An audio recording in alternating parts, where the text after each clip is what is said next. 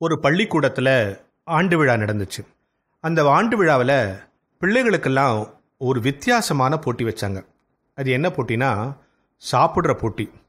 பிள்ளைகள்லாம் உற்சாகமாக வந்து கலந்துக்கிட்டாங்க கஷ்டமான போட்டி இல்லையா? லட்டை சாப்பிட்டுட்டு தண்ணி குடிக்காமல் உடனே வாழைப்பழத்தை சாப்பிட்டுட்டு திருப்பி அந்த கோட்டை வேற தொடணும். இதான் போட்டியினுடைய விதிகள்னு சொல்லிட்டாங்க. நிறைய பிள்ளைகள் வந்து கலந்துக்கிட்டாங்க இதில் ஒரு பிள்ளை மட்டும் ஓடி வந்து லட்டை சாப்பிடாம வாழைப்பழத்தை மட்டும் சாப்பிட்டுட்டு கோட்டையும் தொட்டுட்டா. ஆனால் டீச்சர் சொல்லிட்டாங்க ஆனால் லட்டை சாப்பிடலையே. அதனால் நீ தோத்துட்ட அப்படின்னு சொல்லிட்டாங்க. அவள் அழுதுகிட்டே வீட்டுக்கு வந்தா. அம்மா ஏன்னு கேட்டாங்க. நடந்ததெல்லாம் சொன்னான் அம்மா நான் தான் கோட்டை தொட்டுட்டேனே. வாழைப்பழத்தை சாப்பிட்டுட்டேனே. என்னை தோத்துட்டேன்னு சொல்லிட்டாங்களே அப்படின்னு அழுதா.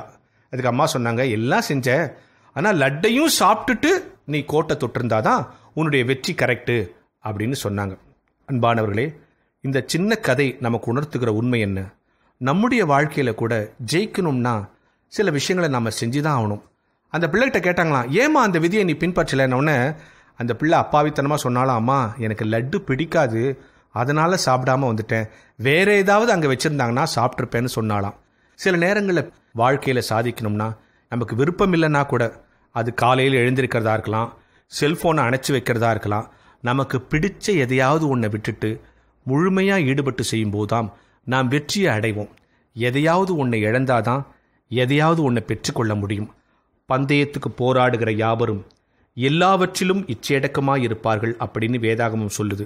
நாமும் வெற்றிக்கு எது தடையாயிருக்கிறதோ அதை எடுத்து போட்டுவிட்டு வெற்றி அடைவதற்கு நமக்கு விருப்பமில்லாத விஷயங்களை கூட முழுமையாய் செய்கிற பொழுது வெற்றியடைவோம் என்பதை தெரிந்து கொள்வோம்.